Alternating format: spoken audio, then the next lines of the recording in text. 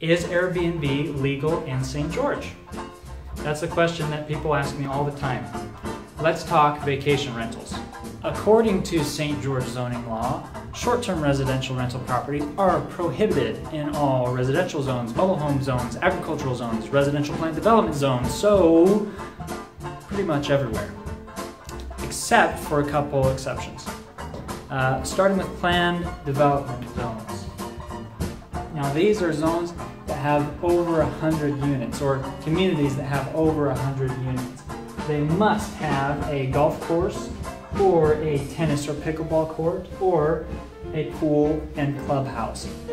Um, so what we're talking about here, we're talking about large resort communities with a resort overlay like uh, Sports Village or Las Palmas. Those are two that are right adjacent to each other over in the Green Valley area. Now another exception to this Airbnb prohibition is in residential areas, but don't get too excited, the criteria is pretty strict. In residential areas, you can do an Airbnb short-term rental if your lot size is greater than two acres, which is huge by the way. You have written consent from all of your neighbors within 300 feet of the property. You must have a business license and there are pretty stringent parking requirements uh, for those who are staying there.